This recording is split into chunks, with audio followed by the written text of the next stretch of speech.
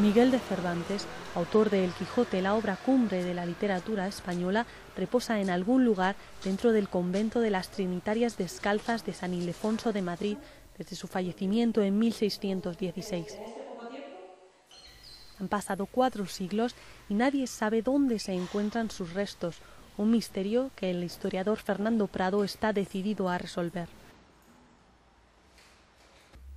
El plan cuenta con un grupo de historiadores y antropólogos forenses que rastreará con un georradar el subsuelo y los muros del convento para encontrar al famoso literato. El georradar básicamente es un emisor de ondas electromagnéticas eh, que no afecta en absoluto al estrato, al subsuelo, no causa ningún tipo de daño, pero nos está transmitiendo información de subsuelo hasta una profundidad de 7 metros.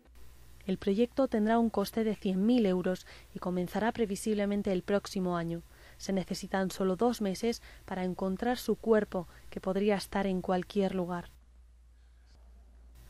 Una vez desenterrado, estos expertos podrán extraer gran cantidad de información la alimentación que tuvo en su juventud, en su crecimiento, eh, de qué manera le afectaron las heridas que recibió en, Lepanto a, su desarrollo físico posterior, eh, si tuvo algún tipo de consecuencias en su vejez eh, debido a estas heridas.